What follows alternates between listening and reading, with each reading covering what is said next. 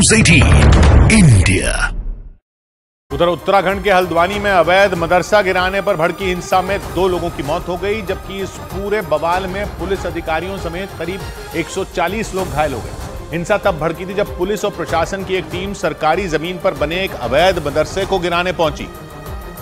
और जैसे ही बुलडोजरों ने मदरसों की दीवार पर एक्शन शुरू किया, भीड़ ने पुलिस की टीम पर हमला बोल दिया था। आरोप है कि मदरसे के आसपास मौजूद घरों की छतों से पुलिस पर बड़े बड़े पत्थरों से धावा बोला गया था। लेकिन हालात तब आउट ऑफ़ कंट्रोल हो गए थे जब लोगों की भीड़ ने बनभूलपुरा थाने को घेर कर पथराव शुरू कर दिया था। उस दौरान पुलिस की कई गाड़ियों को आग के हवाले कर दिया गया था। देखते ही देखते आग की लपटों ने वहाँ कोहराम मचा दिया। सिर्फ़ पुलिस की गाड़ियाँ ही नहीं, बल्कि आरोप है कि उपद्रवियों ने कई दूसरी गाड़ियों में भी आग लगा दी थी।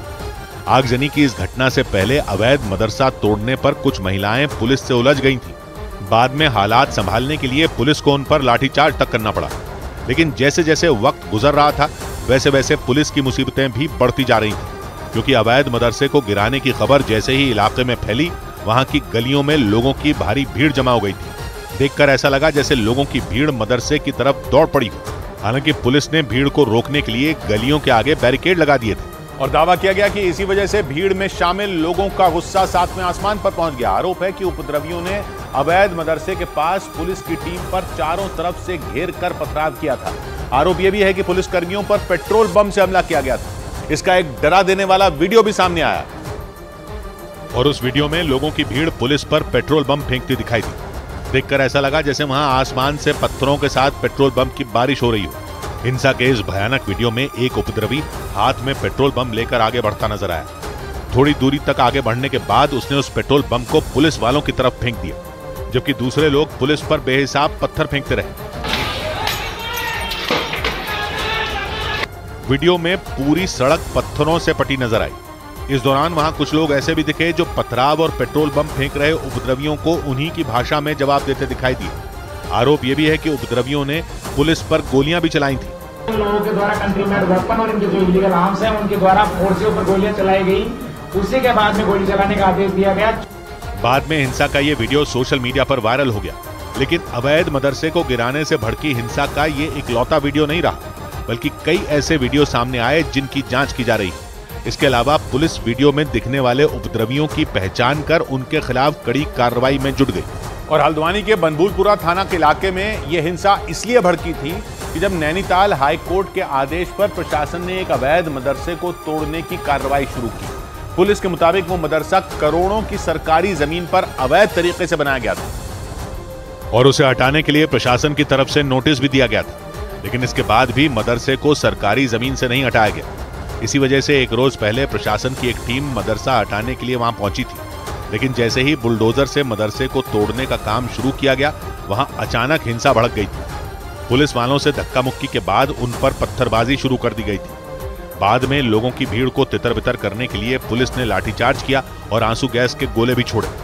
ज़िले की डीएम वंदना सिंह के मुताबिक हल्द्वानी के अलग अलग इलाकों में पिछले कई दिनों से सड़कों और चौराहों को चौड़ा करने के लिए अतिक्रमण हटाने का अभियान चलाया जा रहा है। इसी कड़ी में अवैध मदरसे पर भी कार्रवाई की गई थी। इस प्रॉपर्टी पर जो कि खाली प्रॉपर्टी है जिसमें दो स्ट्रक्चर्स हैं जो कहीं पर भी ना तो किसी धार्मिक संरचना के रूप में रजिस्टर्ड हैं ना ही किसी प्रकार से मान्यता प्राप्त है। लेकिन इसके बाद भी उपद्रवियों की भीड़ ने पुलिस पर हमला कर दिया था। आरोप है कि थाने में लोगों की भीड़ ने कुछ पुलिस वालों को ज़िंदा जलाने तक की कोशिश की थी। और प्रशासन का आरोप है कि अवैध मदरसा गिराने पर भड़की हिंसा अचानक नहीं हुई बल्कि पूरी प्लानिंग के साथ पुलिस को निशाना बनाया गया था। जानकारी के मुताबिक अवैध मदरसे को गिराने के लिए प्रशासन की तरफ़ से 30 जनवरी को नोटिस जारी किया गया था। और नोटिस देने के बाद प्रशासन की तरफ़ से उस पूरे इलाके पर नज़र रखी गई थी। क्योंकि प्रशासन को इस बात की आशंका पहले से थी कि अवैध मदरसे को हटाने के दौरान वहाँ हिंसा भड़क सकती है। प्रशासन का यह भी दावा है कि मदरसे को गिराने के लिए नोटिस जारी किए जाने के बाद से ही पुलिस पर हमले की तैयारी शुरू कर दी गई थी। बाकायदा प्रशासन ने एक प्रेस कॉन्फ्रेंस कर इस बात की जानकारी भी दी कि 30 जनवरी तक मकानों की छतों पर पत्थर जमा नहीं किए गए थे, लेकिन इसके बाद प्लान के तहत पत्थर जमा करने का काम शुरू किया गया। इसमें जो छतें आपको दिखाई दे रही हैं, वो एम्प्टी हैं। उनमें कोई बड़ी भारी मात्रा में पत्थरों का दबाव नहीं है। लेकिन जब एक रोज पहले पुलिस और नगर निगम की टीम अवैध मदरसे को हटाने के लिए पहुँची तो उपद्रवियों ने पूरी टीम को चारों तरफ़ से घेर लिया था। इसके बाद मकानों की छतों से उन पर पत्थरों की बरसात कर दी गई। थी इसी वजह से प्रशासन की तरफ़ से यह दावा किया गया कि पहले से ही हिंसा फैलाने की प्लानिंग की गई थी। क्योंकि इस दौरान पुलिस और प्रशासन की तरफ़ से किसी को उकसाने की कोशिश नहीं की गई। बल्कि आखिरी वक्त तक बवाल कर रहे लोगों को समझाने की कोशिश की गई। लेकिन इसके बाद भी अवैध मदरसे को गिराए जाने से नाराज़ भीड़ ने वहाँ जमकर तांडव किया था। आरोप है कि उपद्रवियों ने बनभूलपुरा थाने को ही आग के हवाले कर दिया था। और उसी वजह से वहाँ हाहाकार मच गया था। क्योंकि दावा किया गया कि जिस वक्त थाने में आग लगाई गई थी उस दौरान वहाँ कई पुलिसकर्मी मौजूद थे। आरोप है कि उपद्रवियों ने उन्हें थाने के अंदर ही ज़िंदा जलाकर मारने की कोशिश की थी। हिंसा के बाद वहाँ से जो तस्वीरें सामने आई, उनमें बनभूलपुरा थाना बुरी तरह जला हुआ दिखाई दिया। थाने के अंदर और बाहर हर तरफ़ तबाही के निशान नज़र आए। पुलिस स्टेशन के बाहर तो हिंसा में जली हुई गाड़ियों का पहाड़ दिखाई दिया। ये जो मंजर है, पूरी तरीके से गवाही दे रहा है कि किस तरीके की स्थितियाँ कल के दिन हल्द्वानी में थी। उपद्रवियों ने सिर्फ़ थाने को ही अपना निशाना नहीं बनाया बल्कि आसपास के कई मकान भी हिंसा की भेंट चढ़ गए। हर तरफ़ सिर्फ़ बर्बादी का मंजर ही दिखाई दिया। हिंसा भड़कने के बाद प्रशासन ने अगले आदेश तक पूरे ज़िले में कर्फ्यू लगा दिया। पूरा रेलवे बाज़ार इस वक्त सन्नाटे में दिखेगा। आपको क्योंकि कर्फ्यू लगा हुआ है पुलिस ने सभी जगह बैरिकेड लगाए गए हैं। मामले की गंभीरता को देखते हुए शहर के बनभूलपुरा इलाके को छावनी में तब्दील कर दिया गया। यही नहीं, सुरक्षा पुख्ता करने के लिए पैरामिलिट्री की चार और पीएसी की दो कंपनियाँ भी उस इलाके में तैनात कर दी गई। ताकि वक्त रहते किसी भी तरह के हालात से निपटा जा सके। इस बीच बीजेपी सांसद और उत्तर प्रदेश के पूर्व डीजीपी ब्रिजलाल ने आशंका जताई कि हल्द्वानी हिंसा के पीछे प्रतिबंधित संगठन पीएफआई, यानी पॉपुलर फ्रंट ऑफ़ इंडिया का हाथ हो सकता है। क्योंकि उन्होंने दावा किया कि पुलिस वालों पर पूरी तैयारी के साथ हमला किया गया था। मदरसे पर एक्शन के बाद पहले पुलिस वालों के साथ धक्का मुक्की की गई थी। और फिर उनके ऊपर मकानों की छतों से पत्थर बरसाए गए। इसी दौरान लोगों की भीड़ ने थाने पर भी धावा बोल दिया था। इसी वजह से बीजेपी सांसद और उत्तर प्रदेश के पूर्व डीजीपी ब्रिजलाल ने आशंका जताई कि हिंसा भड़काने के पीछे प्रतिबंधित संगठन और कट्टरवादी संगठन पीएफआई का दिमाग हो सकता है। सुनियोजित ढंग से हिंसा की गई। पीएफआई का रोल तमाम जगह इस तरह के हिंसा फैलाने रहा है। हल्द्वानी में हुई हिंसा पर तो आईएमसी यानी इत्तेहाद मिल्लत काउंसिल के अध्यक्ष तौकीर रजा ने भड़काऊ भाषण दे दिया। अब किसी बुलडोजर को बर्दाश्त नहीं किया जाएगा। हमें कानूनी अधिकार है। अगर हमारे ऊपर कोई हमलावर होता है तो हम उसको जान से मार दें।